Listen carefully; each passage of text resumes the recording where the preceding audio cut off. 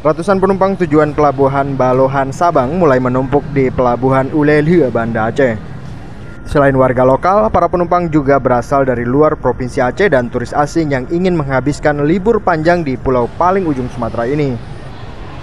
Akibat banyaknya penumpang, lokasi penjualan tiket terpaksa ditutup lebih cepat karena karcis telah terjual habis.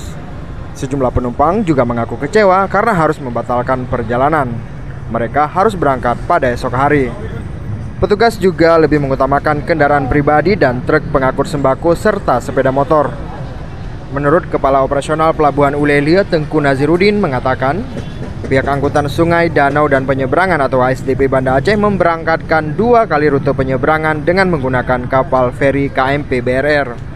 Meski demikian, terjadi penambahan jadwal keberangkatan pada kapal cepat yang biasanya dua kali sehari kini menjadi tiga kali.